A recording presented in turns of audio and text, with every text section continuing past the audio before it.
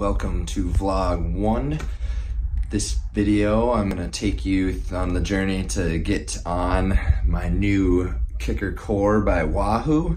So far, I have the stand set up and right now we are on our way to Ski Hut to get the cassette taken off so I can actually have some gears on this thing and get my bike on there. Stay tuned. Just want to say shout out to Ski Hut for hooking it all up.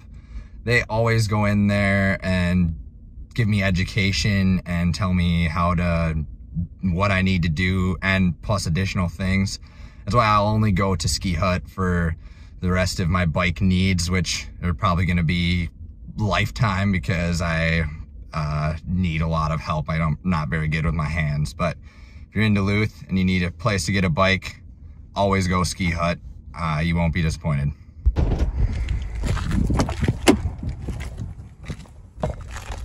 Okay, so what Ski Hut did was they took the cassette off. So for the noobs out there like me, the cassette, the gear shifter is the cassette.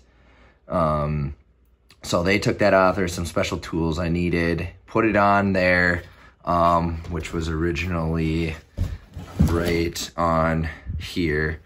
Um, so now you can see the Bluetooth is going on there. I am um, gonna get the Wahoo app and throw the bike on there and uh, I'm hoping all is well.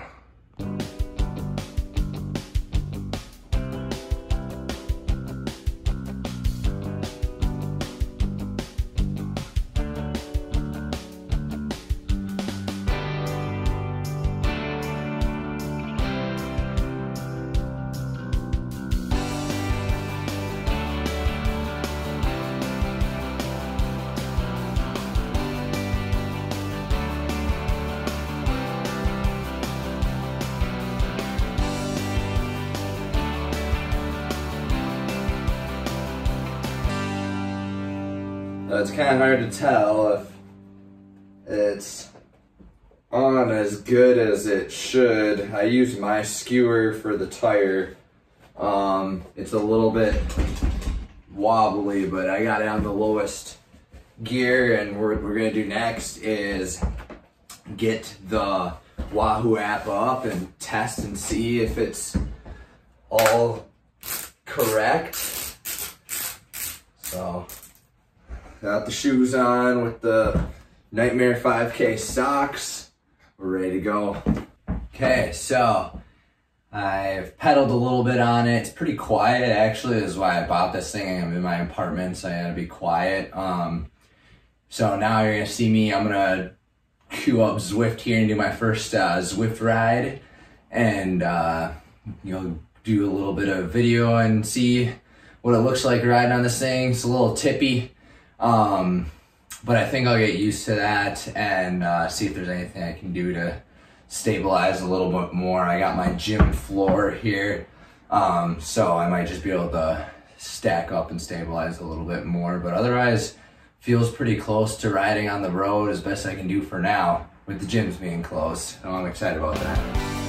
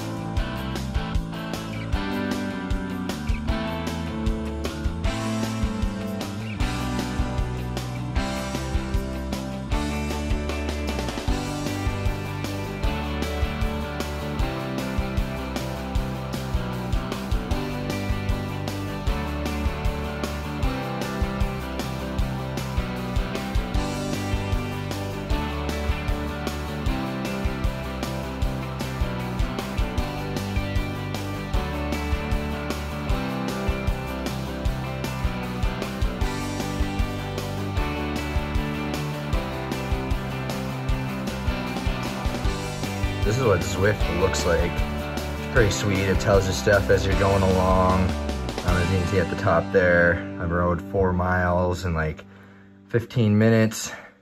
Um, I'm moving zero right now because I'm not on there.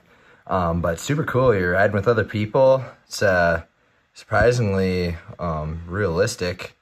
Uh, gives you the ri real ride feel, kind of fun. Did get a little bit sweaty uh, on that just introductory ride. Um, it was really fun riding with people on there. Um, there's tons of people and it keeps telling you, motivating you to keep rolling on there, saying uh, things.